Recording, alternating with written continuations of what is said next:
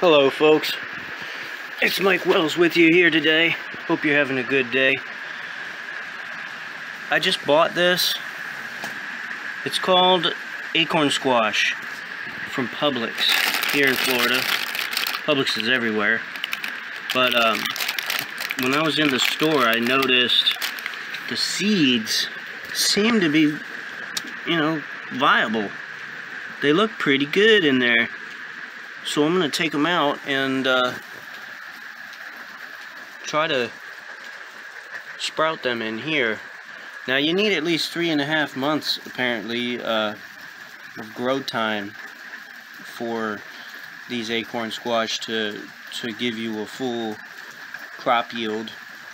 So we're in the middle of well it's late September right now it's the 20th so we've got October November, December, we should be getting at least one frost, maybe in December. But I'm going to take my chances because this last year was an unusually uh, hot winter. And uh, all of our plants and trees got a fake out going into January because January was hot.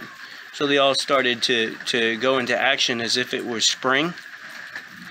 And then all of a sudden it got back to cold in February. So I'm thinking this year we might get a repeat. Or maybe even slightly warmer. Who knows?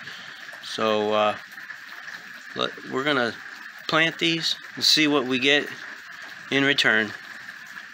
Thanks for watching. Have a good day.